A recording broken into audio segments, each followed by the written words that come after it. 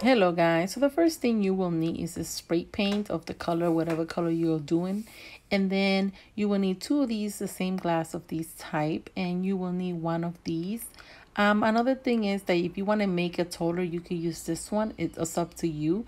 Um, I didn't, at the end, I don't know if I'm going to use this one, but I didn't use it in my photos. So what you will do is just spray paint it um, all over it and look how cute it turns out. So after you do that, you will do it to all the glasses. You just spray paint to all the glass into all of them are done and make sure you let them dry very good um, before you attach. Then I went ahead and placed my jar facing down and then I'm going to put hot glue all around the all around the jars.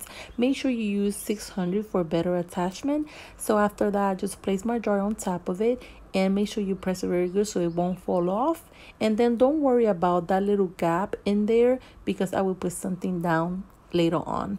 So then I went ahead on top and I'm just going to go ahead all around it and put hot glue. And I'm just going to go ahead and place it on top one more time and press it down until you attach the whole three base and that's your stand. And I went ahead and put a little bit of hot glue on my rhinestone and then I'm just going to go ahead and place it all around my base just like that and look how cute that looks. So the next step I did was I got this foam board at Walmart and I got my flowers. So I'm just going to go ahead and attach them to my foam ball. So I took this flower and I spray painted the color that I'm going to, um, teal blue. So I just spray painted and I'm just going to go ahead and put it in the middle so it can stand down and look super cute. As you can see here, my plan was to put those big um um tree at the at the top but then i decided not to do it. So it looked better without it. So i just went ahead and placed all the flowers.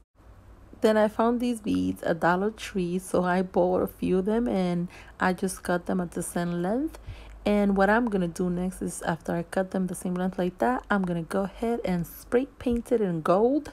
Um so i went ahead and spray painted and just spray paint one side then let it dry and then turn it around and then spray paint the other side.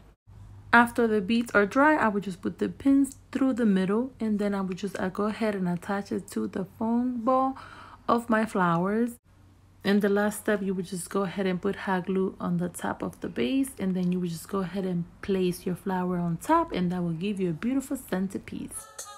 If you guys enjoy it please don't forget to subscribe. Thank you